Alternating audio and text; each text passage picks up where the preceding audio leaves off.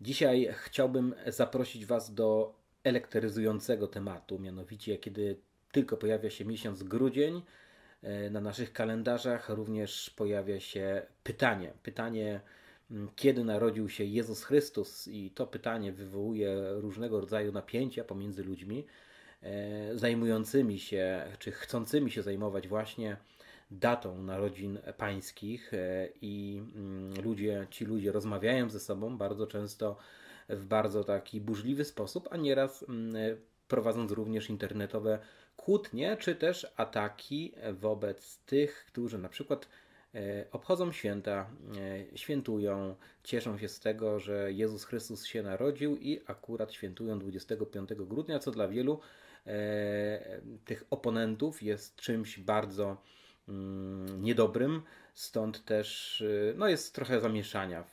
Myślę, że przede wszystkim w internecie, e, no ale wiadomo, internet obrazuje stan e, naszego serca.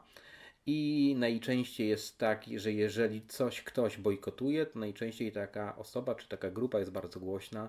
Stąd też wiele osób zwraca się do mnie mm, no, z tym pytaniem, jak to jest z tymi świętami, jak to jest z datą narodzin Jezusa Chrystusa, czy powinniśmy i czy możemy cieszyć się, świętować 25 grudnia ten fakt, że Jezus Chrystus, Mesjasz, Zbawiciel, urodził się w Betlejem Judzkim, czy też nie powinniśmy tego robić ze względu na, i tu uwaga, pogańskie pochodzenie tego święta. Ja dzisiaj chciałem właśnie wokół tego e, dzisiaj się dzielić e, i spróbować dać e, parę mm, odpowiedzi. Stąd zaczynajmy. E, kiedy urodził się Jezus Chrystus? E, moi kochani, na to pytanie mm, odpowiedź jest taka. Nie wiadomo. Nie wiadomo, kiedy urodził się Jezus Chrystus, ponieważ Biblia o tym milczy. Nie ma w Biblii, w Słowie Bożym, w Ewangeliach zapisanej daty, narodzin Jezusa Chrystusa. Stąd też tutaj mm, jednocześnie Słowo Boże niesie nam pewnego rodzaju e, wezwanie do tego, aby wstrzymać się od arbitralnych odpowiedzi, e, a bardziej e, wybierać w tym temacie postawę pokory postawę mm, pokorną wobec właśnie tego faktu, i no, nie szukać i nie tylko nie szukać arbitralnych odpowiedzi, ale tymi arbitralnymi odpowiedziami nie atakować nie zwalczać innych ludzi.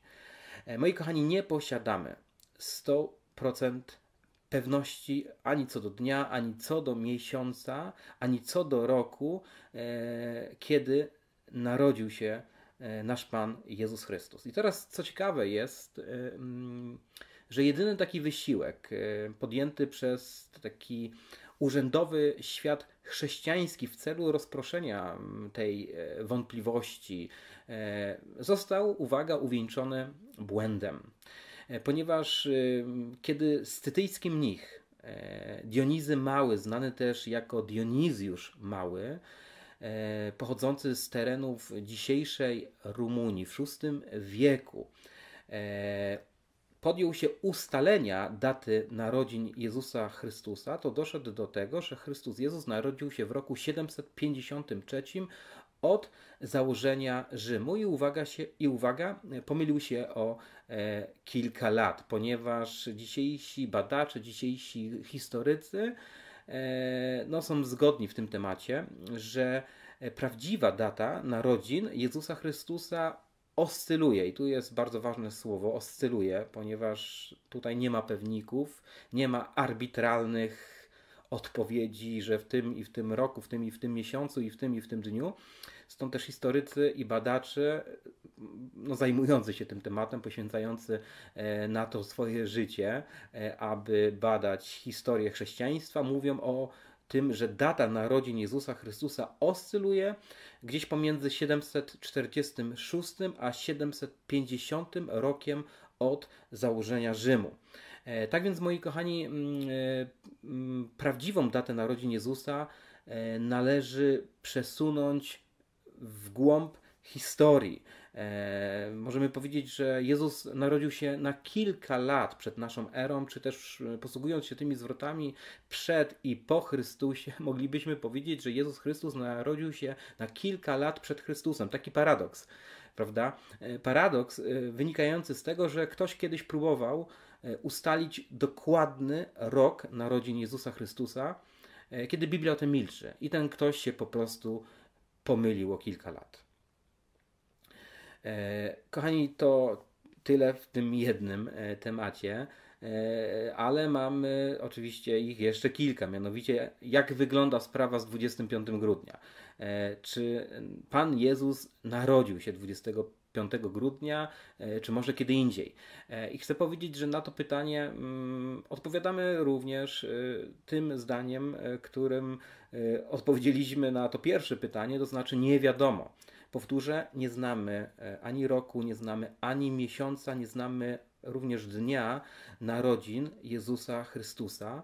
E, moi kochani, to co wiemy, to wiemy, że święto e, narodzin pańskich, czy Boże Narodzenie, znalazło się w kalendarzu świąt chrześcijańskich dość późno. Na pewno znacznie później niż święto Paschy czy święto Pięćdziesiątnicy. I ze względu na to, że to święto narodzin pańskich znalazło się, pojawiło się w kontekście chrześcijaństwa jako święto dość późno, to są ludzie, którzy datę 25 grudnia, jak i święto e, Narodzenia Pańskiego, uwaga, łączą z pogaństwem czy też z wpływami pogańskimi. E, ponieważ istnieje taka rozpowszechniona opinia, w myśl której święto mm, Narodzenia Pańskiego e, ustanowiono 25 grudnia, aby zastąpić popularny w Rzymie kult Słońca Niezwyciężonego e, Sol Invictus. I w myśl tej koncepcji niektórzy uważają, że chrześcijanie, jak będą twierdzić inni, rzymscy cesarze, zrobili ten zabieg po to, aby schrystianizować stare pogańskie święto, święto kultu Słońca Niezwyciężonego. E, I w związku z tym, e, to o czym teraz mówię, e, pewna grupa osób mm, staje się szczególnie taka aktywna właśnie w miesiącu grudniu. I ta grupa osób właśnie pojawia się w różnych sceneriach naszego życia, również w internecie. E, właśnie po to, aby negować, aby bojkotować e, to e, i święto Narodzenia Pańskiego, jak i połączenie tego święta z dniem 25 grudnia i ta grupa nie tylko neguje i bojkotuje to święto, ale stara się przekonywać, że to święto po prostu jest pochodzenia pogańskiego, czy też są, czy też miały na to święto wpływ pogańskie E, pogańskie święto wspomniane e, kultu Słońca Niezwyciężonego, stąd ta grupa przestrzega, zniechęca do tego, aby e, no po prostu w prosty sposób, radosny sposób świętować ten fakt, że Chrystus Jezus narodził się na ziemi i ta grupa mm, no nie tylko bojkotuje, nie tylko neguje, ale w wyrażaniu swoich opinii na temat, kiedy Jezus Chrystus się narodził, jest bardzo taka e, pewna, restrykcyjna, e, no nierzadko też e, arogancka. E, stąd też, moi drodzy, ja chciałbym dzisiaj zachęcić do tego, aby tych postaw e, nie powielać. Tak jak wspomniałem tutaj, e, mm, ze względu na to, że Słowo Boże nie mówi o dacie narodzin Jezusa Chrystusa, jesteśmy wezwani do tego, abyśmy byli pokorni w naszych wypowiedziach. E, i do tego chciałbym zachęcić. E, jednocześnie e, pozwólcie, że podkreślę dwie rzeczy, które będą szły trochę pod prąd w, w tej narracji łączenia święta Narodzenia Pańskiego z 25 grudnia z pogańskimi wpływami kultu Słońca Niezwyciężonego. Mianowicie, kochani, pozwólcie, że powiem o dwóch rzeczach. Po pierwsze, e, wcale nie jest wiadomą rzeczą, że 25 grudnia obchodzono w starożytnym Rzymie kult Słońca. E, ponieważ według historyków e, kult Słońca Niezwyciężonego e, zaprowadził w roku 274 cesarz Aurelian. E, jednakże pierwsza wzmianka źródłowa o obchodach tego święta w dniu 25 grudnia, uwaga, pochodzi z roku 354, czyli po 80 latach od rzekomego ustanowienia tego święta. Nie jest więc wcale pewne, czy cesarz Aurelian ustalił y, święto kultu Słońca Niezwyciężonego 25 grudnia. E, I moi kochani, takie jest stanowisko e, dzisiaj historyków y, chrześcijańskich i badaczy.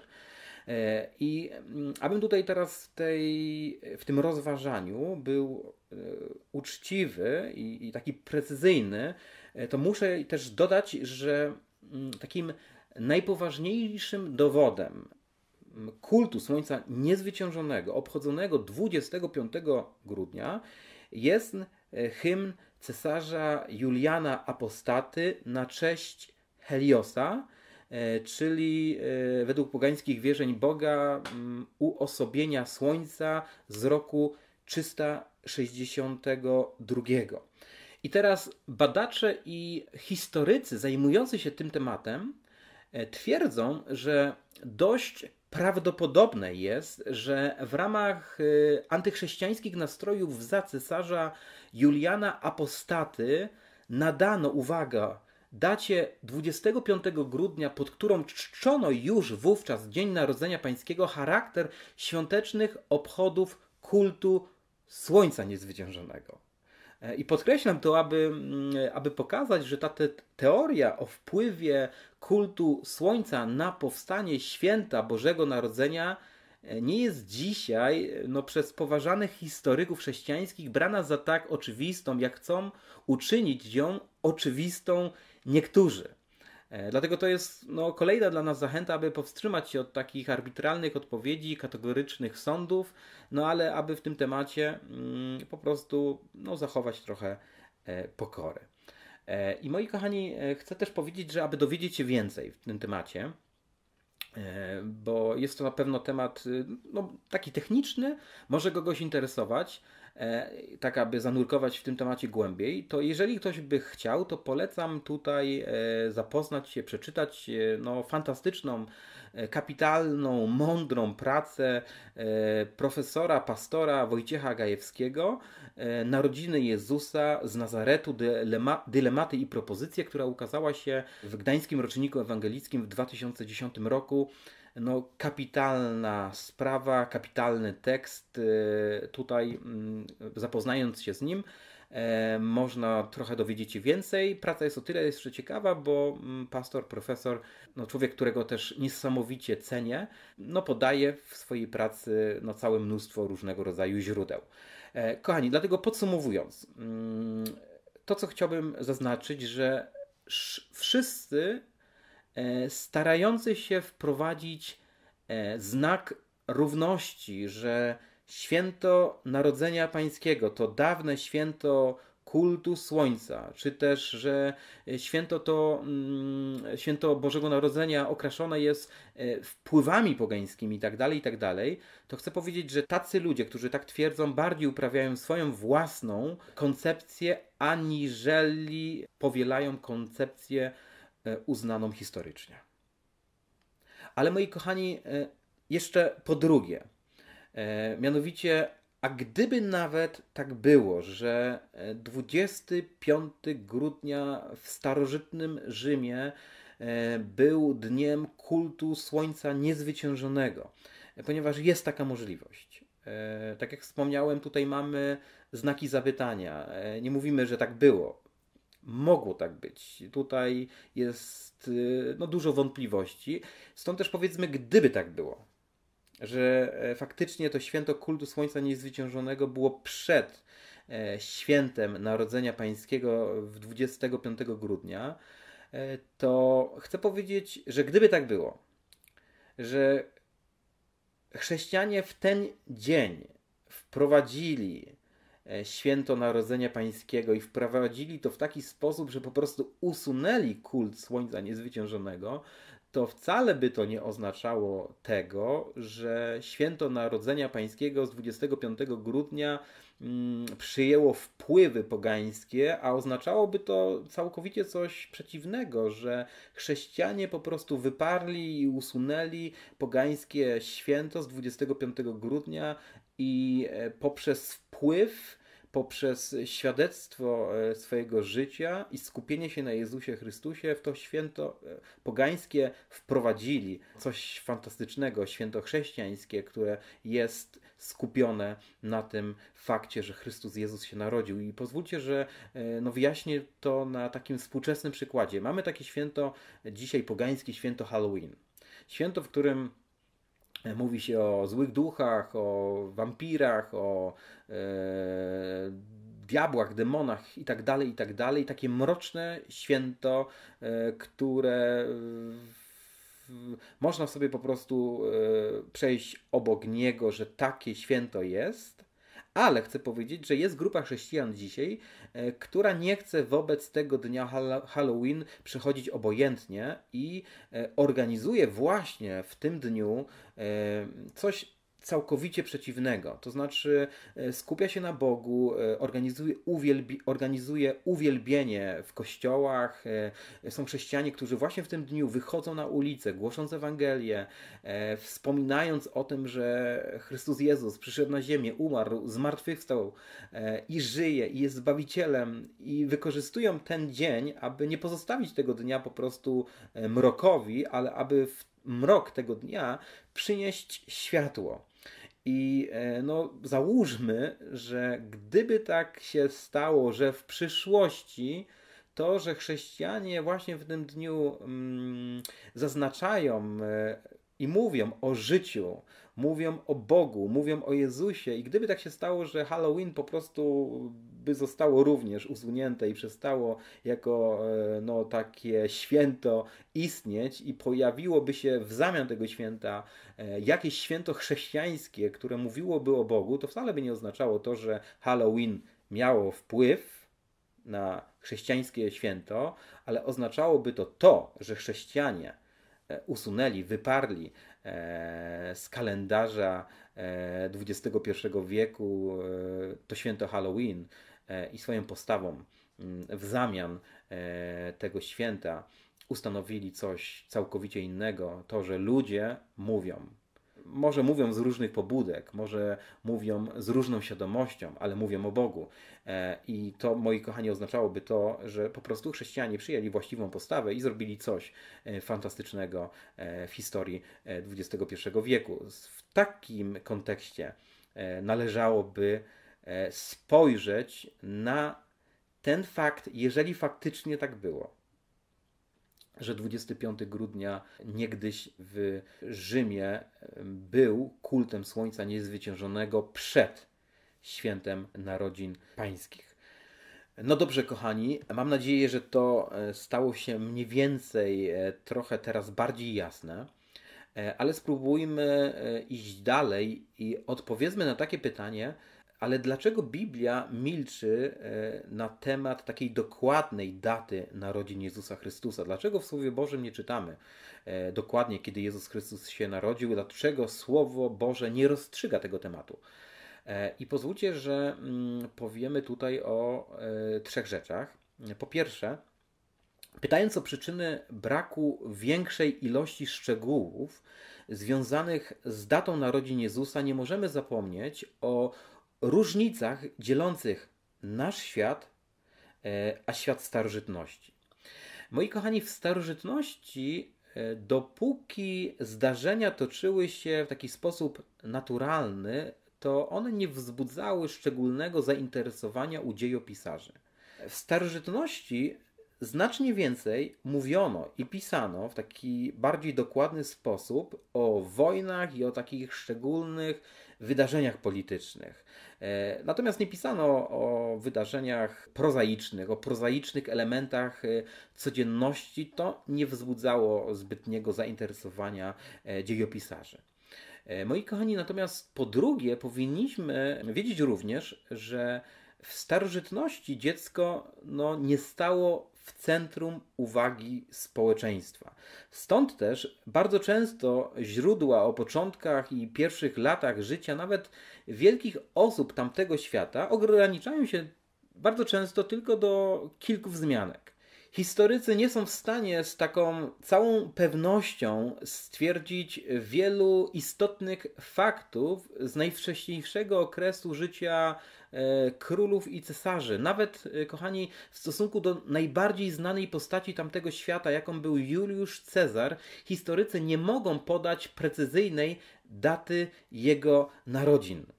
Dlatego mm, tym większe trudności występują e, w przypadku narodzin dziecka e, no, na głębokiej judzkiej prowincji, gdzieś w judzkim Betlejem, daleko od rzymskiej cywilizacji. I wreszcie, moi kochani, po trzecie, e, to czy musimy pamiętać, że Ewangelie były napisane w celu duchowego budowania i duchowego kształtowania pierwszych chrześcijan, a nie dla ich historycznego wykształcenia.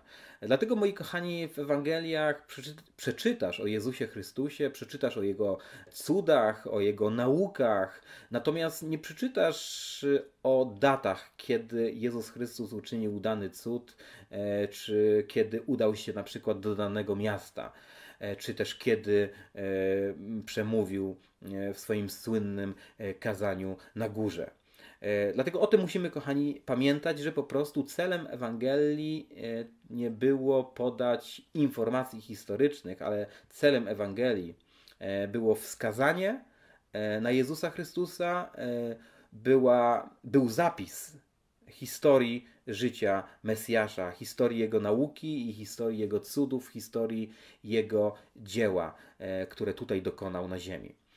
I moi kochani, Pozwólcie, że idąc dalej, tak tylko ociupinkę napomknę, że odnośnie narodzin Jezusa Chrystusa, e, być może, to jest taka informacja dla dociekliwych, dla chętnych trochę, aby sobie poszperać po Biblii i e, trochę tutaj jeszcze pogrzebać. Być może, kochani, pewną taką poszlaką co do narodzin Jezusa Chrystusa, e, być może taką poszlakę znajdujemy w słowach apostoła Jana z Ewangelii e, Janowej z pierwszego rozdziału, a 14 wersetu, w którym czytamy, że a słowo stało się ciałem i zamieszkało e, wśród nas. Ponieważ to zdanie, jeżeli byśmy przyjrzeli się temu zdaniu w Grece i oddali tą Grekę w taki sposób dosłowny, to tam Jan apostoł pisze, że słowo stało się ciałem i rozbiło namiot wśród nas. E, czyli tutaj moglibyśmy dostrzec e, to, że jest to nawiązanie do święta namiotów. Stąd też e, niektórzy mm, szukają tutaj bardziej mm, tego czasu narodzin Jezusa Chrystusa przy, czy też wokół święta namiotów, które było, jest siedmiodniowym świętem żydowskim. Ale pozwólcie, że nie będę tego rozwijał, bo tutaj moglibyśmy trochę w taki sposób biblijny próbować argumentować to. Wybierzmy i pozostańmy jednak przy tej odpowiedzi, którą powiedzieliśmy na początku. Data narodzin Jezusa Chrystusa jest niewiadoma. E, to, co teraz powiedziałem, jest pewnego rodzaju taką e, ciekawostką. E, można próbować w jakiś sposób to wiązać, aby tam próbować znaleźć właśnie no mniej więcej ten czas narodzin Jezusa Chrystusa, że to gdzieś oscylowało wokół święta namiotów, czy też w święcie namiotów. No ale na tym pozostańmy. Moi kochani, chcę powiedzieć na koniec, co więc z 25 grudnia jako dniem świętem narodzin pańskich, świętem Bożego Narodzenia.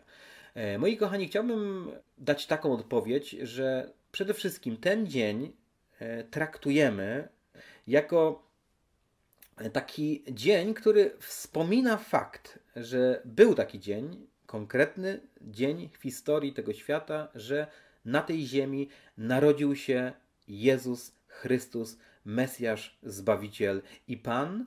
E, I to był jakiś konkretny dzień w historii tego świata, i 25 grudnia właśnie e, wspomina o tym fakcie, że Jezus Chrystus, Boży Syn, narodził się tutaj jako Zbawiciel. a nie 25 grudnia nie skupia się na dacie, kiedy to było, ponieważ w tym święcie Bożego Narodzenia z 25 grudnia nie chodzi o datę, ale chodzi o osobę. To po pierwsze. Po drugie, moi kochani, ja mam świadomość tego, że 25 grudnia, święto Narodzin Pańskich, e, dzisiaj e, w tym świecie, w którym żyjemy, no, zostało w taki sposób wykoś, wykoślawione, e, skomercjalizowane, sprowadzone do magii świąt. I tutaj może wielu z Was mogło powiedzieć jeszcze wiele, wiele na ten temat to jednakże e, ja chcę powiedzieć, że jako chrześcijanin, jako uczeń i naśladowca Jezusa Chrystusa cieszę się, że w naszym kalendarzu mamy taki dzień, mamy takie święto, mamy no właśnie ten dzień, w którym wspomina się ten fakt, że Jezus Chrystus się narodził, nawet kiedy świat, w którym żyjemy, e, mało co to obchodzi. Dlaczego?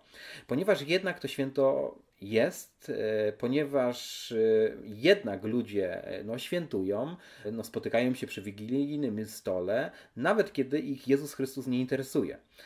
I to, moi drodzy, dlaczego ja się cieszę, że tak, że to święto jest, a to dlatego, ponieważ jest to doskonałe narzędzie, doskonały czas na to, aby właśnie w tym czasie, w całym Adwencie, w, czy też w święcie Narodzin Pańskich, temu światu Jezusa Chrystusa głosić, e, prowokować ludzi pytaniami, a co świętujesz, dlaczego świętujesz, a czy wiesz, e, o czym mówi to święto, a czy wiesz, że e, to nie chodzi o żadną magię świąt, nie chodzi o choinkę, nie chodzi o to, aby spędzić czas razem ze sobą, z rodziną, ale istotą tego święta jest, że Jezus się narodził, a ten Jezus, który się narodził, jest palącą potrzebą każdego człowieka, i tutaj mamy doskonałą okazję do tego, aby wykorzystać ten czas e, do głoszenia Ewangelii. Dlatego, moi kochani, kiedy pytacie mnie, Radek, czy e, no, kiedy się nawróciłem, czy e, mogę obchodzić to święto, co zrobić, kiedy mm, na Wigilię zaprosi mnie moja niewierząca rodzina, która no, nie wierzy w Jezusa, ale zaprasza mnie na to, abym spędził z nimi czas i tak dalej, i tak dalej no to ja odpowiadam, no przyjmij to zaproszenie, uczestnicz razem e, ze swoimi bliskimi, niewierzącymi e, w tej wspólnej kolacji, e, buduj z nimi relacje, tak? bądź blisko nich i bądź śmiały i bądź odważny.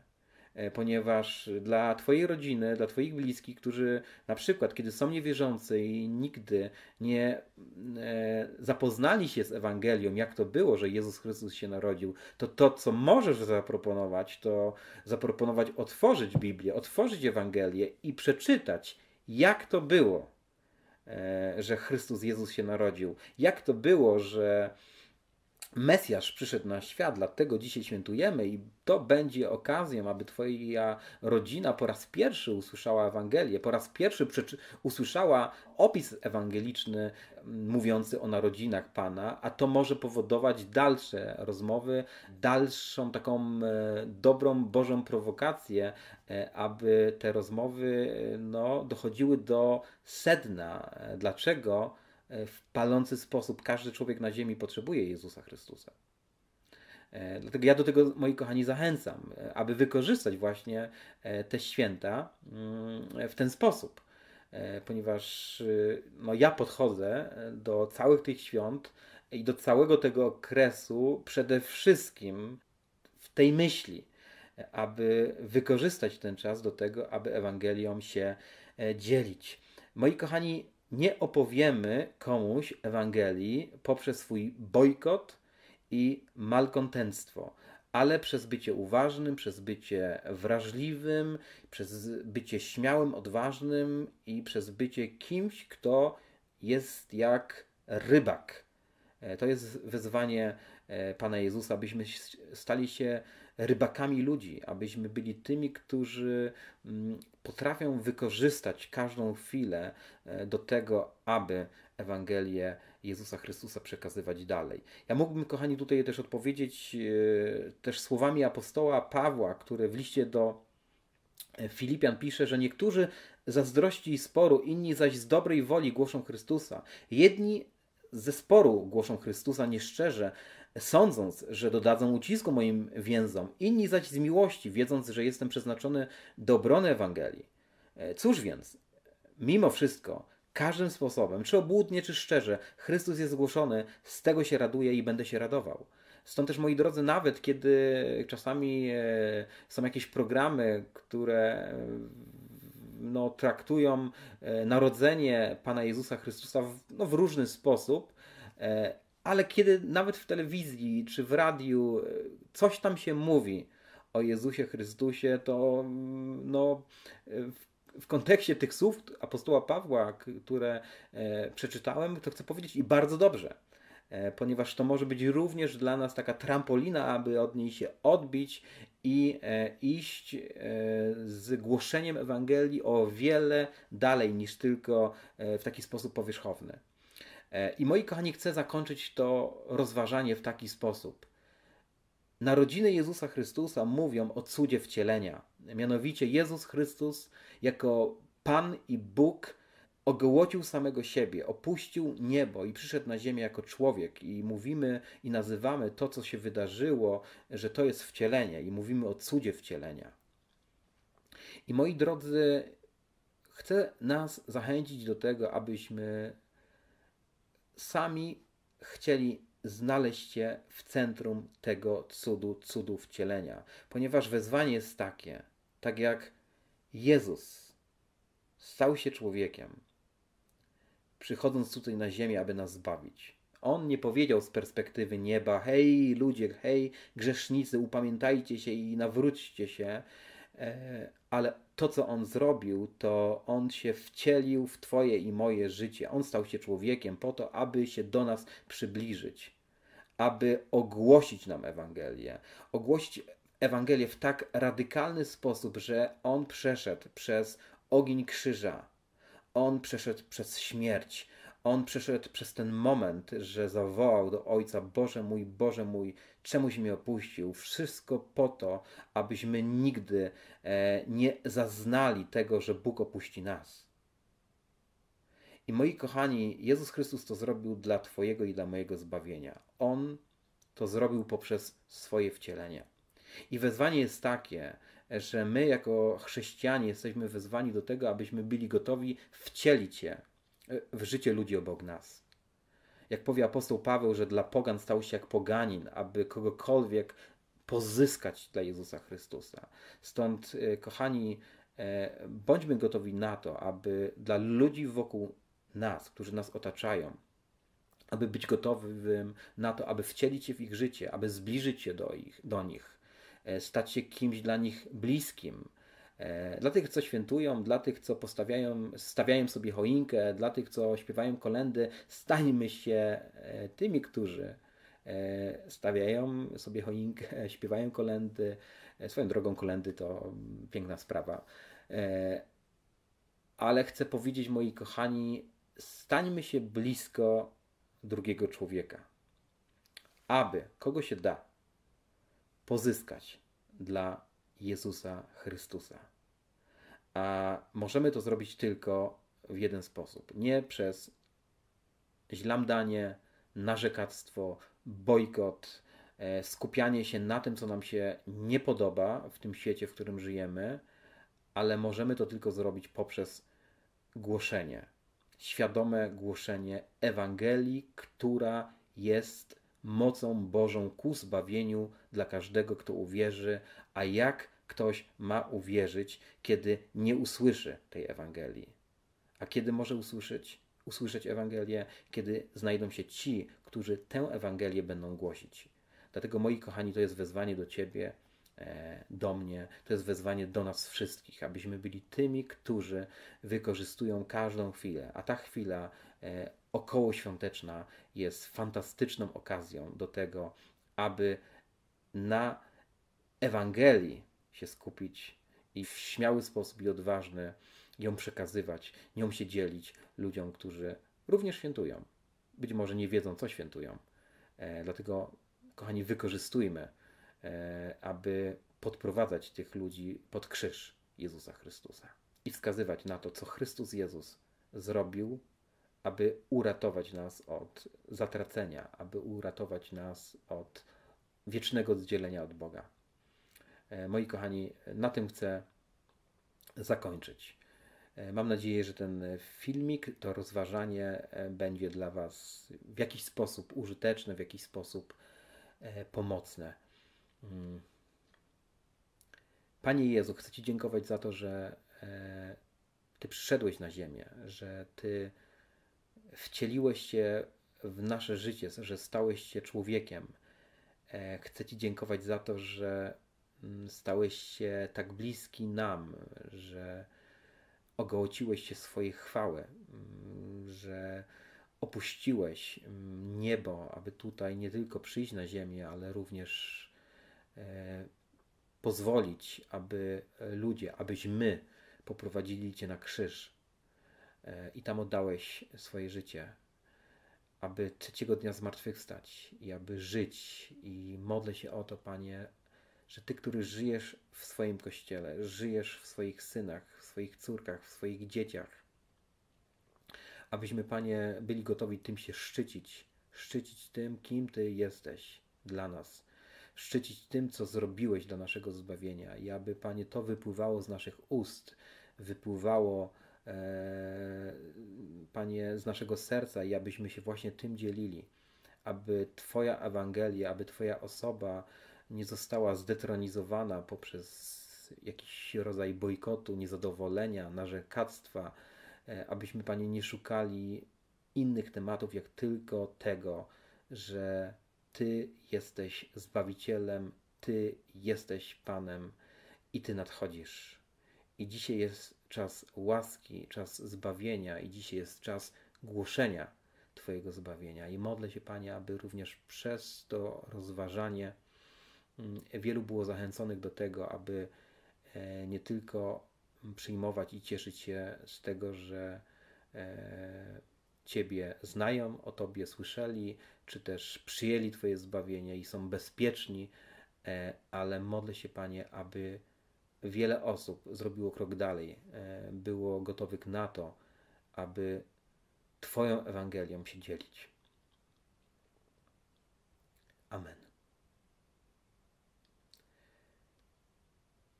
Maranata, moi kochani. Miejcie się najpiękniej.